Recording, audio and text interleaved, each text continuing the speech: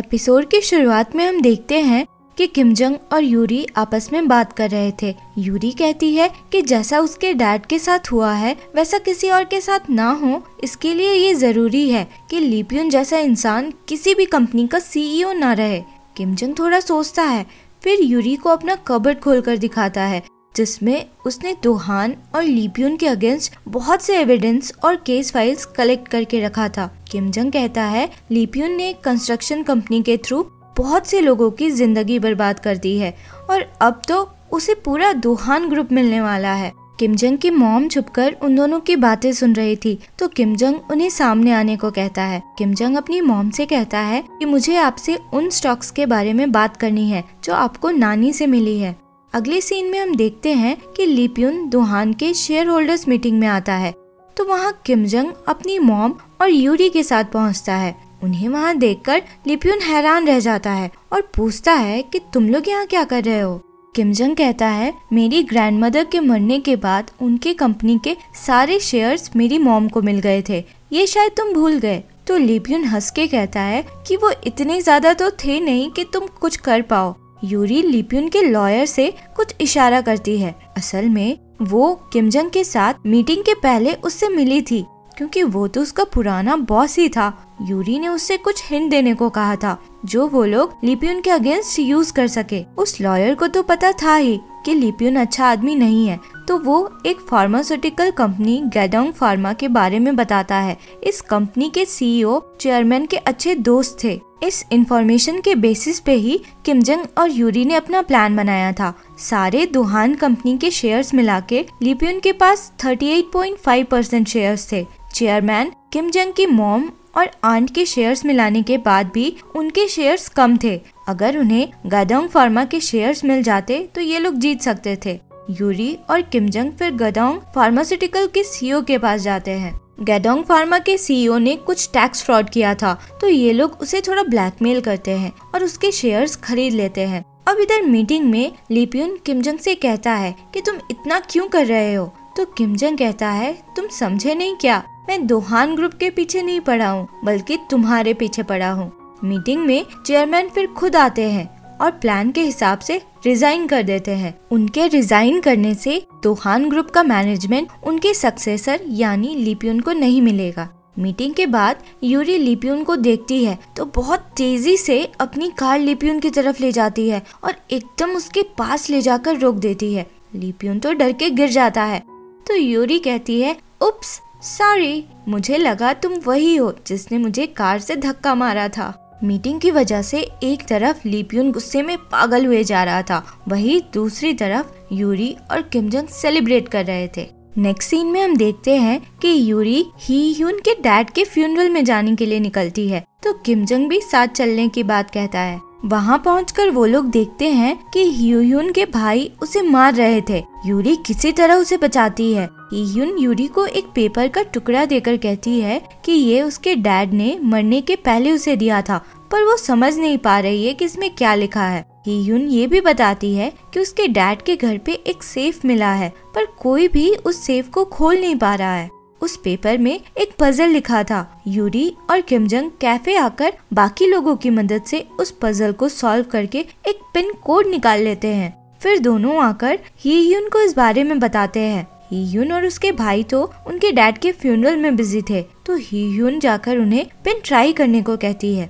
वो लोग ही यून के डैड के घर जाते हैं। यून युन गैंग और जून बाहर पहरा के लिए रुकते हैं और बाकी लोग अंदर जाते हैं। अंदर घुसने पे अलार्म एक्टिवेट हो गया था। यूरी किमजंग और पार्क जल्दी से सेफ़ ढूँढने लग जाते हैं, जो उन्हें मिल भी जाता है।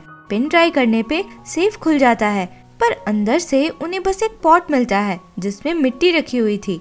वो लोग बहुत हैरान होते हैं, ये देखकर कि बस एक पॉट है यहाँ। तब तक सिक्योरिटी के लोग भी अलार्म एक्टिवेट होने से वहाँ पहुँच गए थे। जून तुरंत यूरी को कॉल करके बताता है सिक्योरिटी वाले घर के अंदर घुस चुके थे। तो किमजंग पार्क और यूरी तीनों छत से कूदकर वहाँ से भाग निकलते हैं।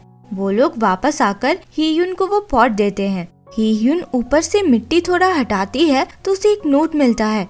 उस नोट में उसके डैड ने उसके लिए बहुत ही प्यारा सा पोएम लिखा हुआ था। सब लोग थोड़ा अफसोस कर रहे थे कि कुछ पैसा या कुछ कीमती चीज़ नहीं मिला। तो हीयुन कहती है कि कोई बात नहीं। पता नहीं मैं इतनी गुस्से में क्यों थी। शायद मैं बस ये जानना चाह रही थी कि डैड मुझे भी मेरे भाइयों के जितना प्यार करते हैं। पर डैड ने मेरे लिए पर्सनल नोट छोड़ा। तो बस, अब मुझे और कुछ नहीं चाहिए। ये लोग बात ही कर रहे थे। तो किमजंग का पब्लिशर दोस्त आकर उसे अपने साथ चलने को कहता है। उसने उस अनरजिस्टर्ड कार का पता लगा लिया था, जिससे यूरी को धक्का मारा गया था। दोनों उस जंकयार्ड जाते हैं, जहाँ वो कार थी। जंकयार्ड का ओनर कहता है कि कार एक आदमी लेकर आया था, पर उससे ज़्यादा उसे कुछ याद नहीं। वहाँ सीसीटीवी भी लगा था, पर वो दिखाने को रेडी नहीं था। उसने अपने जंकयार्ड में बहुत से इलीगल कार रखे हुए थे। तो किमजंग उसे थोड़ा ब्लैकमेल करता है और तब जाकर वो सीसीटीवी दिखाने को रेडी होता है। सीसीटीवी में वो लोग उस आदमी को देखते हैं जो कार लेकर आया था। वो लोग उसे पहचानते तो नहीं थे, पर उसका टैटू थोड़ा नोटिस करते हैं जो बहुत अलग सा था। दूसरे सीन में हम देखते हैं कि लिपियन का आदमी उससे कहता है कि हम पकड़े जा सकते हैं। ये सुनकर लिपियन थोड़ा घबराता है और कहता है कि उसको रास्ते से हटाओ। अगर उसने किमजंग को सब बता दिया तो किमजंग मुझ तक आ जाएगा और फिर मुझे किमजंग को भी हटाना पड़ेगा।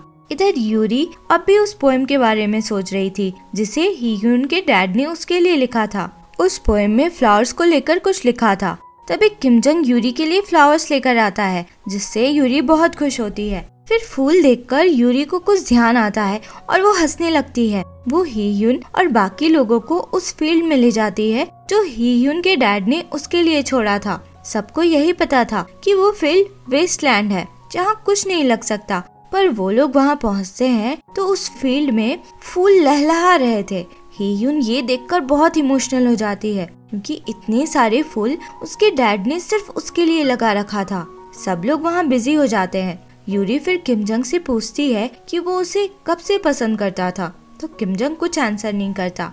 तभी वहाँ एक लेडी आती है। ही हीयुन उस लेडी को पहचानती थी अपने बचपन से। वो लेडी उसे एक सूट केस ला कर देती है। ये बोलकर कि उसके डैड ने ये उसे देने को कहा था। वो लोग वही वाला पिन यूज़ करके बैग खोलने का ट्राई करते हैं। तो बैग खुल जाता है और उसमें गोल्ड ब्रिक्स भरे हुए थे। सब लोग ये देखकर शौक थे क्योंकि उस गोल्ड का अमाउंट करीब करीब 10 मिलियन डॉलर्स था। उसमें से उन्हें हीयुन के डैड का एक वीडियो रिकॉर्डिंग भी मिलता है, जिसमें उन्होंने हीयुन के लिए मैसेज छोड़ा था और ये भी बताया था कि जो वसीयत उन्होंने पहले बनाई है, वो अपनी इच्छा से नहीं बनाया था। उनके बेटों ने उनसे ज़बरदस्ती लिखवाया था।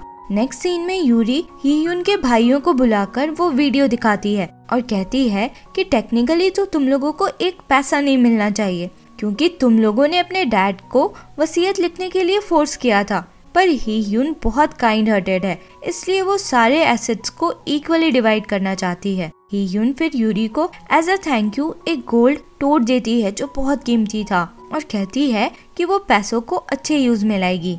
अगले सीन में हम देखते हैं कि यूरी वापस आती है तो उसे किमजंग का एक बुक मिलता है। उसमें एक बुकमार्क लगा देखकर उसे कुछ याद आता है। फ्लैशबैक सीन में हम देखते हैं कि जब यूरी और किमजंग कॉलेज में पढ़ा करते थे, तब यूरी ने उसे ये बुकमार्क दिया था। फिर दोनों वॉक करते हुए एक बिल्डिंग के सामने गए थे। उस बिल्डिंग में एक रेस्टोरेंट था। यूरी को वो बिल्डिंग बहुत पसंद आया था और उसने कहा था कि उसका सपना है कि ऐसे ही किसी जगह में वो अपना ऑफ़िस खोले जहाँ लोग आकर उससे लीगल एडवाइस ले। ये याद आने पे यूरी भागकर कैफ़े से बाहर निकलती है और बिल्डिंग को देखती है तो उसे रियलाइज़ होता है कि ये तो वही बिल्डिंग है। फिर उसे किमजंग से रिलेटेड सारी बातें याद आने लगती है और उसे समझ आता है कि किमजंग उससे बहुत पहले से प्यार करता था। यूरी दौड़ के उसके घर जाती है, पर वो वहाँ नहीं था। तो उसे फिर पता चलता है कि वो अपनी मॉम के घर गया है तो वो वहाँ से कैब लेके निकलती है। किमजंग अपनी मॉम को उनके घर छोड़ने आया था, क्योंकि उसकी मॉम वापस उसके डैड के पास जाना चाहती थी। किमजंग वहाँ से निकलता है तो उसे उसके दोस्त का कॉल आता है, जो बताता है कि उस टैटू वाले आदमी का पता चल गया है। उस आदमी ने दोहान कंस्ट्रक्शन के किसी एम्प्लॉय का बहुत पहले मर्डर किया था। और अब वो कहीं छुपा हुआ है। किमजंग ये सुनकर घबराहट में यूरी को कॉल करने लगता है। फिर हम उस टैटू वाले आदमी को देखते हैं। लीपियन उसे चाकू मार देता है और कहता है कि मैंने तुमसे कहा था कि कोई एविडेंस नहीं छोड़ना। लीपियन पागलों जैसा बिहेव कर रहा था और अपने आदमी से कहता है कि इस बार कोई सबूत मत छोड़ना। इधर यूरी किमजंग को ढूंढते हुए वहाँ तक पहुँच गई थी। और किमजंग उस पर गुस्सा करता है कि मैंने तुमसे कहा था कहीं अकेले नहीं जाना तो तुम यहाँ क्या कर रही हो? यूरी उससे पूछती है कि तुम इतना पहले से मुझे कैसे प्यार कर सकते थे? तुमने कुछ बताया क्यों नहीं था? किमजंग कहता है, मुझे क्या बताना चाहिए था? ये कि मैं तुमसे हमेशा से प्यार करता हूँ और अब मुझसे वेट नहीं किया जाता। मैं बस तुम्हें हक करना चाहता हूँ और तुम्हें किस करना चाहता हूँ। यूरी उसे अपनी तरफ़ खींचकर किस कर लेती है। और ये एपिसोड यही खत्म होता है। आगे क्या हुआ जानने के लिए मिलते हैं अगले एपिसोड में। अगर एक्सप्लेनेशन पसंद आया हो तो लाइक शेयर एंड सब्सक्राइब करें। Thank you for watching